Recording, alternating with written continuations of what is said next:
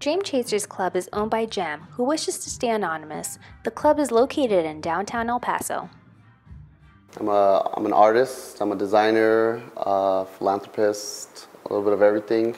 DCC is uh, my brand, stands for Dream Chasers Club, and it's, it's a lifestyle brand essentially. Aside from holding art galleries and shows for artists from Los Angeles, Las Vegas, and local artists in El Paso, DCC also duplicates as a store that sells a clothing line designed by Jam himself.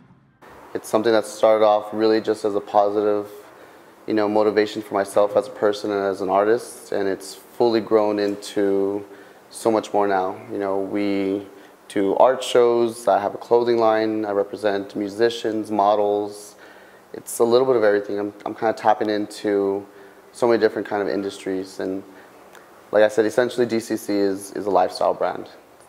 DCC is more than a venue for artists to show their talent. Jam has created a club to all people inspiring to make their dreams reality. If you sign up, um, it asks you, you know, it asks you to name your dream.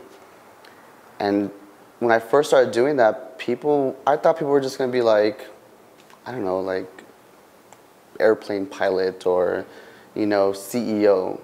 No, it was really in depth. It was it was really powerful stuff to the point where it made me emotional. I felt people, I felt their energy, and people were sharing stories with me. I mean, people would write paragraphs, long things, thanking me, not knowing who they're thanking, but they're just thanking. I think just the general idea.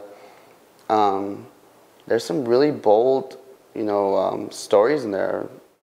Jam hopes to continue inspiring others to achieve all their goals and is surprised people have taken his message to heart. Just all these things, and I realized, like, oh man, it's way bigger than me. It's way bigger than the brand.